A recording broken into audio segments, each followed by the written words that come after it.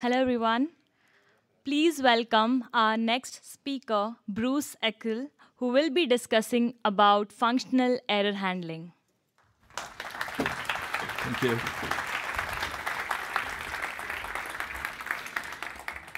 Okay, there's a lot here, so I'm gonna, and I have been spending months preparing this thing, so I'm gonna dive right in. Um, so the uh, GitHub repository there has everything here, including the code examples and the little tools that I've created. And uh, there's also a paper that's still in progress, but that goes in depth in things that I'm only going to be able to touch on here. And I think uh, I'm, I'm, imagining that that might become part of a larger work. And of course, these slides. Uh, this talk require, I mean, it's very heavily uh, dependent upon uh, types. And so uh, you'll see I use types everywhere. And so if you're using this, you'll need to, you know, you need to have a type checker installed. Uh, this, a lot of this work has come from a book that uh, my friends who happen to live in the same tiny town that I do, way up in the Rocky Mountains, uh, and they have these technical chops.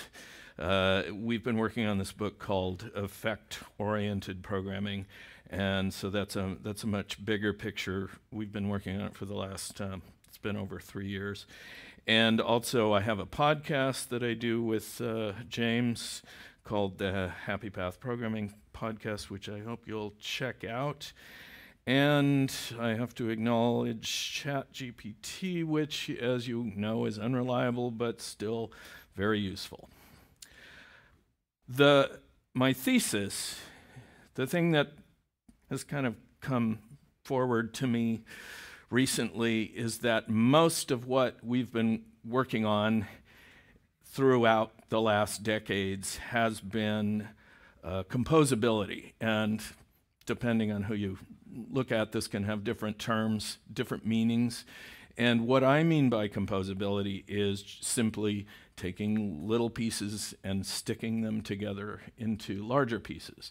And I don't mean that it's possible by contorting yourself to make this happen, which is a lot of times what we have to do, go through a lot of uh, contortions, but um, it needs to be effortless. So you create bigger pieces with smaller pieces, and then those pieces become, we can put those together into larger pieces, and it needs to be fairly seamless.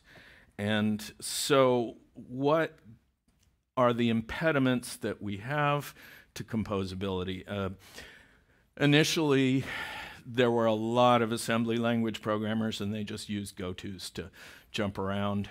And uh, in 1968, Ed, Edsger Dijkstra wrote this little paper. He never actually mentioned functions in it, but the paper said that it was, many of you have heard of the goto considered harmful paper. And uh, what that kind of guided us towards was the idea of a function that from the outside has a single entry and a single exit point. And that makes things much more composable. I mean, basically, if you have gotos, you, you, you don't, there's, there's nothing you can compose because it's just what they called spaghetti code. Uh, another issue was modules. Uh, if you have namespaces, a lot of the original languages had namespaces that were just polluting everywhere. And so there was even a programming language called Modula 2, which its focus was the introduction of modules. And in Python, conveniently, we came up with the idea of, well, the file is automatically a module, so it didn't need all the extra decoration that, uh, say, Modula 2 had to define a module. It was just like, yeah, it's in a file, so it's a module, and the namespace is automatically there. Inheritance, uh, turns out, is an impediment to composability because it breaks encapsulation. And then finally, the topic of today, which is error handling.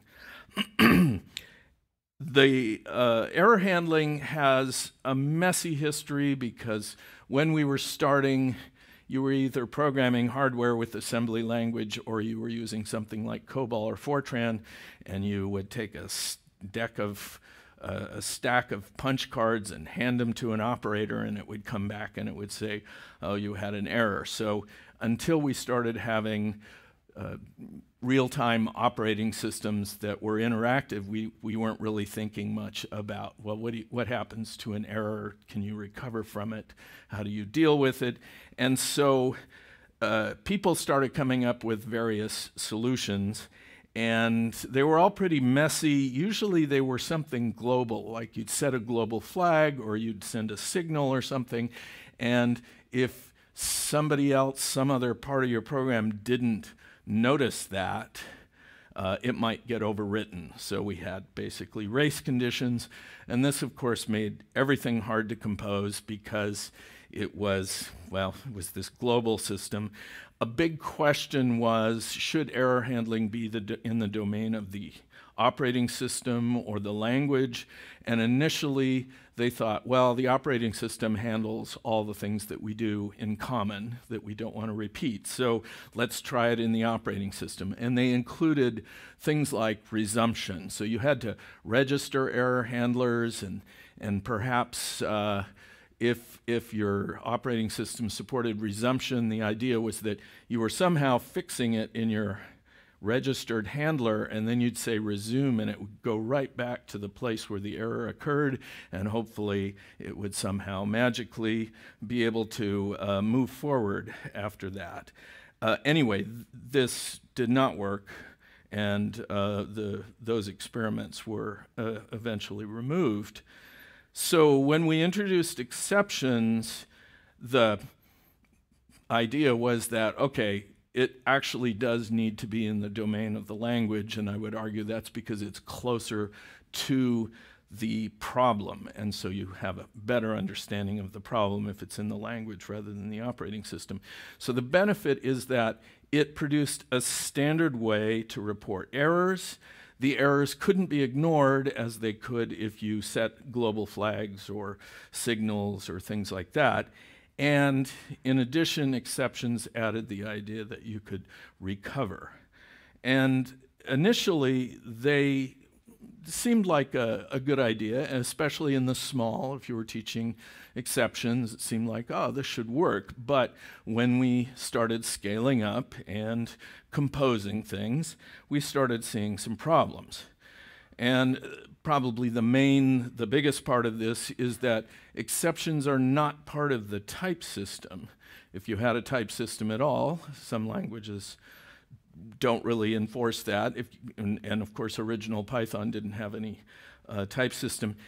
But the problem with it not being part of the type system is that you call a function there's no information about what exceptions might emerge. And even if you do somehow figure out which ones might emerge, that function could be changed to start throwing new exceptions, and your code would get no notification, you, you get no errors to tell you that, oh, there's, there's a new exception that might show up. Uh, you should deal with it. C++ initially and, uh, and then later Java they tried creating a shadow type system, uh, the idea of exception specifications, and over time we realized that this didn't work. Java still is holding on to its exception specifications, but C++ actually uh, deprecated its original exception specifications and moved to the system that I'm going to show you today. Uh, Another problem is that it conflates the categories of errors. So we have the idea of, okay, here's some errors that you might be able to recover from. You, you ask for some information from a database or something and it, you don't get an answer and you go, well, maybe if I try again in a second, uh, I'll get an answer various kinds of things you might be able to recover from. But then there's a vast number of errors that are simply uh, commonly called panics. And you go, well, there's no way to recover from this. And uh, we just have to, you know, somehow record the problem and then bail out of the program. Uh, and exceptions treat both of these things as the same. And so you're, uh, it, it, it doesn't make that much sense once you start realizing that there are two different types of things for you to treat uh, unrecoverable errors in the same way as recoverable errors. And uh, which brings us to our first example. One of the other problems is that if you're doing a big calculation, exceptions destroy partial calculations. So this is kind of wasteful, it makes debugging harder. So we can see in this example, yeah. So we can see in, in this example, I've got, uh, I've got a function that has a, uh, it, it, if you give it the value 1, it's going to throw uh, an exception. It's going to throw in and, and bail out. So, um, and then if I have a list comprehension here, well, two of the values are just fine, and it's the it's the third value, I mean, it's the middle value that throws an exception, but everything gets thrown away. So if you have a big list comprehension or some other big kind of calculation, everything gets thrown away. So uh, this is this is not awesome. So how do we deal with that? Well, the, in, with the functional approach, the first thing we do is we stop using exceptions because that destroys everything and has the other problems that I was talking about. Instead, what we want to do is return a structure that combines the answer that we're hoping to get with the potential error that we might get. And one way to do this is with a type union. So if we look here, we, uh, this is a little tool that I've created that you'll see uh, just uh, checks the output. Uh, so that's the validate output. So we have the same function, but now I've added a, a type union, or sometimes called a sum type. So the idea is if the answer is an int type, then that's a successful answer. If it fails, I'll return a string. So you can see that I'm returning a string here. And now, if we uh, produce these inputs I'm, I'm, uh, I simply uh, create a list comprehension that includes a tuple with the input and, and the result of the function. So you can see that uh, everything works except for the second one, which produces a string instead of an int. And we can do a pattern match on that. And we can say, okay, if it's an int, then we have an answer. If it's a string, then we have an error. And I mean, it works. You can see that uh, we can distinguish between the two, but it's a little uh, unclear to overload a primitive type for the use of this. It, it's, it's, not, it's not as good as it could be. So what we're going to do instead is create a new return type, which is uh, which I'll, I'll call a result, and we'll incorporate that. So let's look at the new return type. All right. So we want to make this a generic so that it can be used everywhere. And we will, um, our generic type, which we'll use, we'll create using a type var, will be uh, answer if it's successful, error if it's a failure, and I'll have a base type called result and I'm making this a data class just because uh, I find those uh, much easier to use. And, and I'm making it frozen because I can. There's no reason to, to modify any of the values here. The base type doesn't contain anything. The success type, which is a subtype of result, and it's based on answer and error, the generic types. The success type only contains an answer. And it can also have, for convenience, it can have an unwrap function. But notice that it doesn't contain the error type. That's only in the failure type.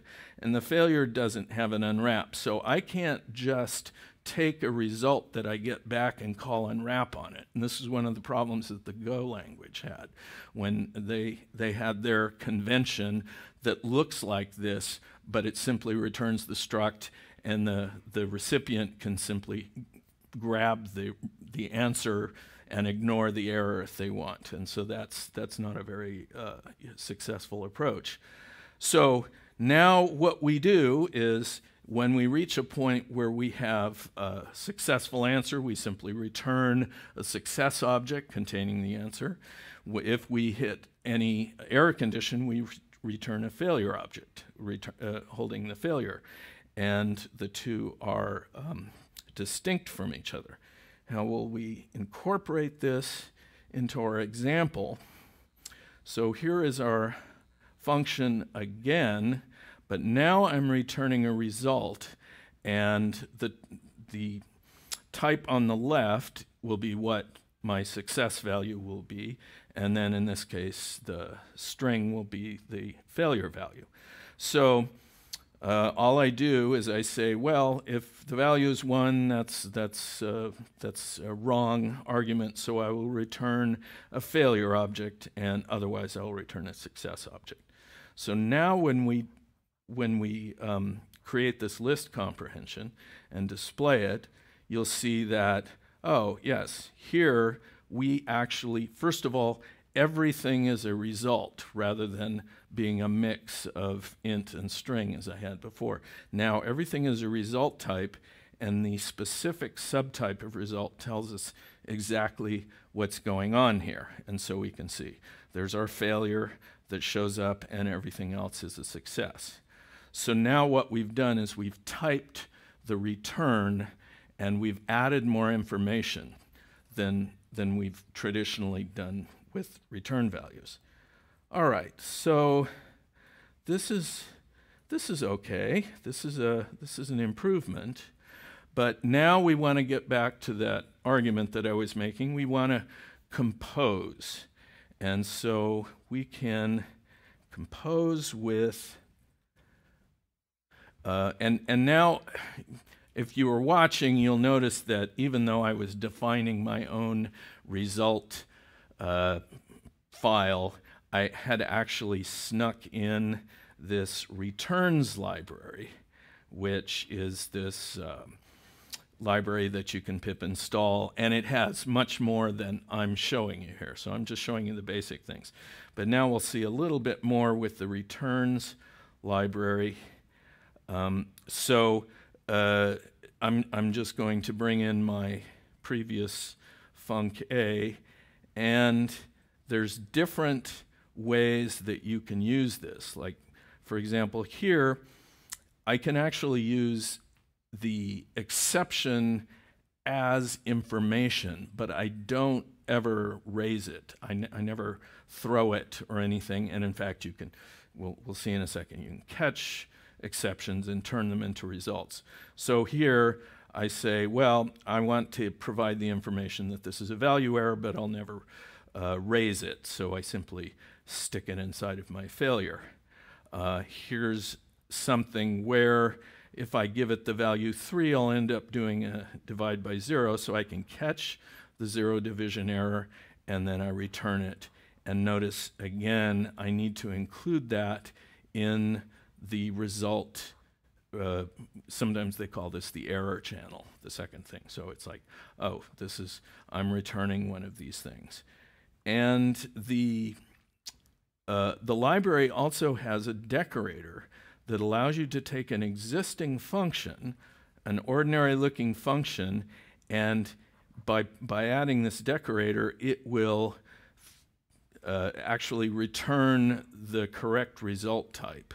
So it can see that uh, I'm returning a string here from the function, and it can detect that, oh, there might be a zero division error here. So it, it's going to uh, put that in the result type. Now we finally get to the point where I was trying to get to, which is a composed function. So um, so what, what I want to do is I want to take these functions that I've defined and I want to put them together into a larger function.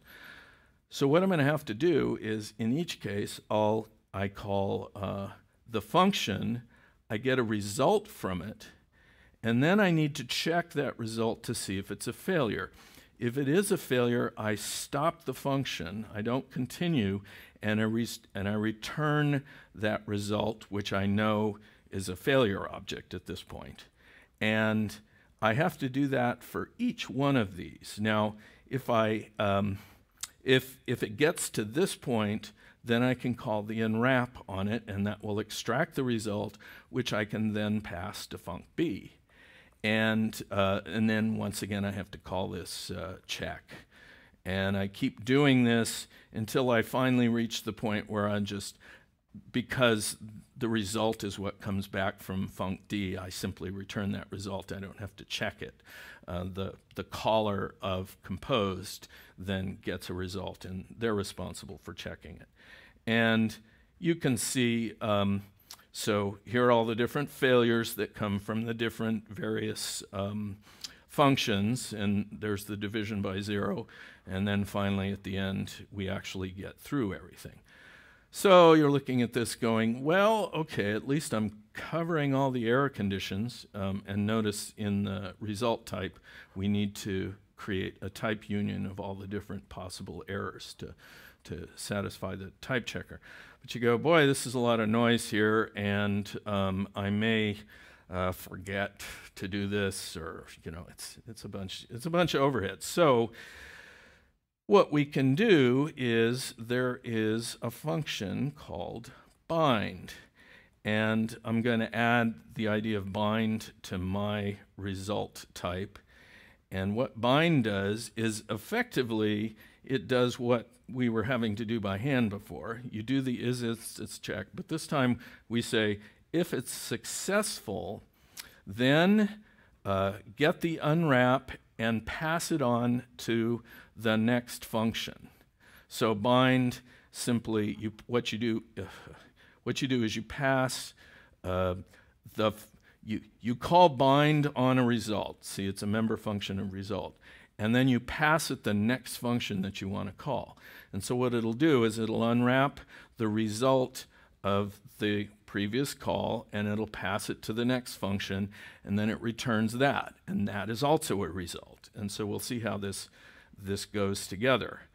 And um, if it's if it fails, all it does is it goes, oh well, this is a failure object. I'll return it, and then the next call to bind in the sequence will say, oh, well, that's a failure object, so I'll just return it. And it just returns it all the way out. So it stops the calculation of your composed function and returns the first error condition that it hits.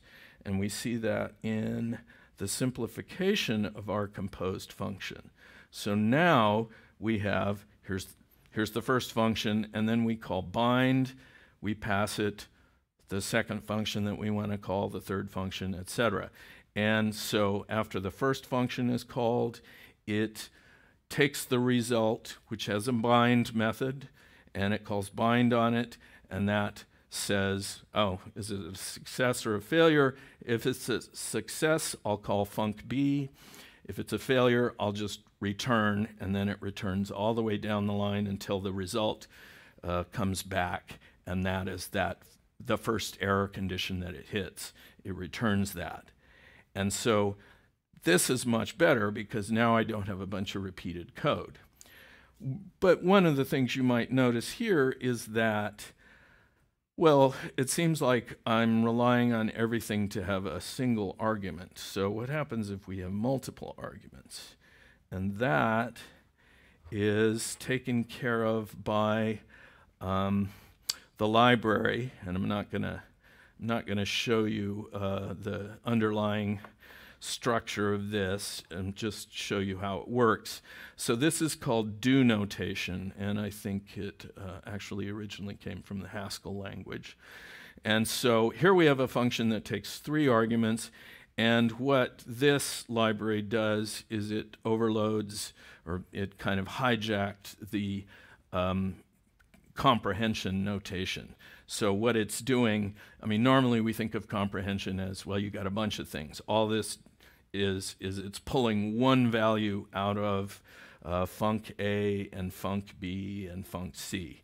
Um, so you, you, you have to use it in this limited form, but it produces a reasonable syntax. So now we can, we can return this function that um, takes the values from these other functions.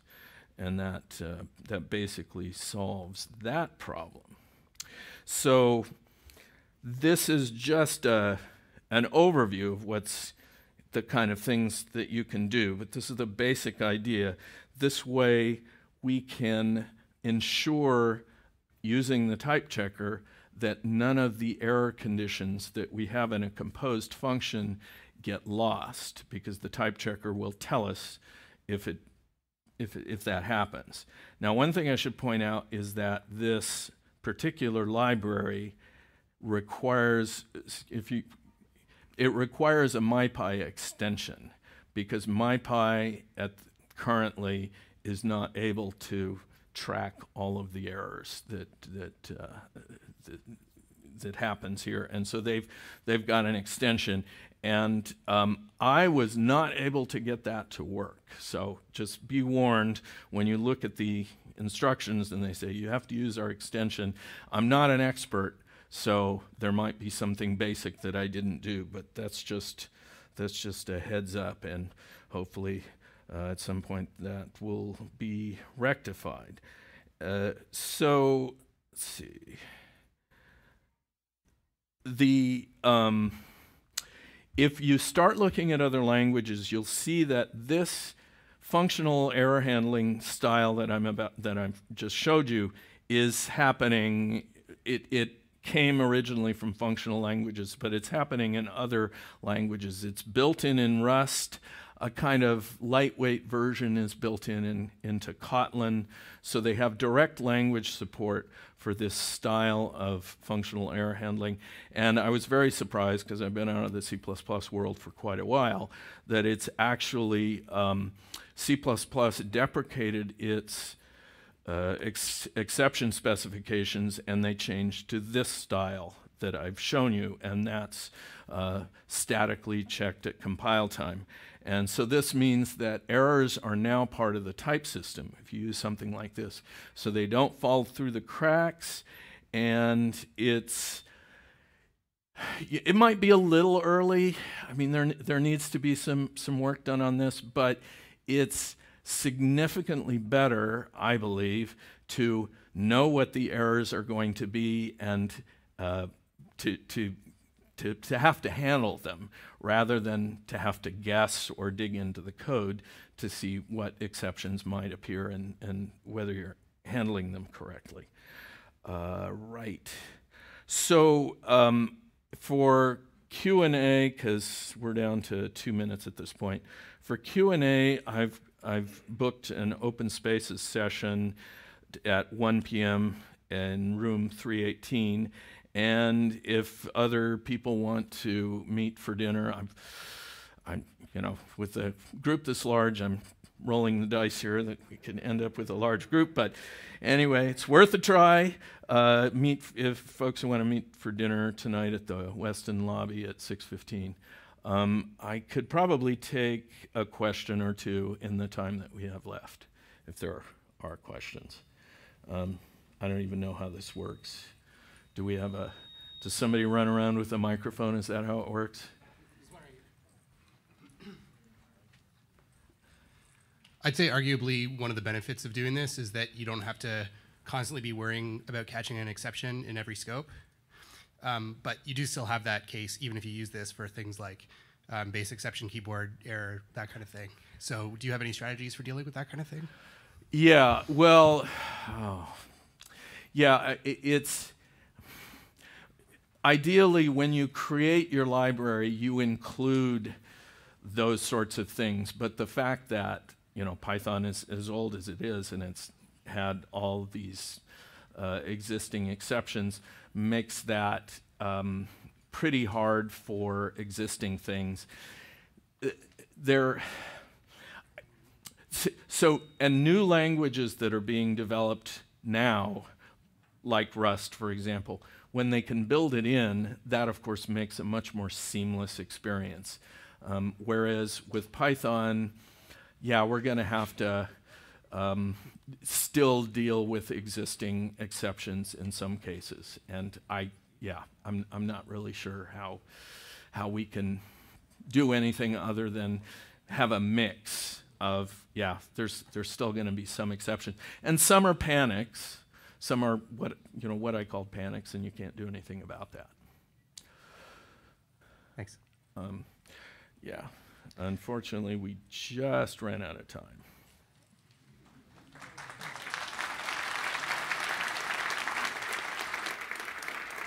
Thank you.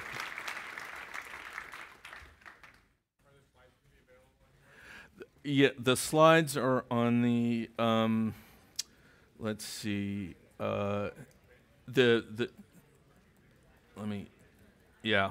So the GitHub repo, everything's on the GitHub repo.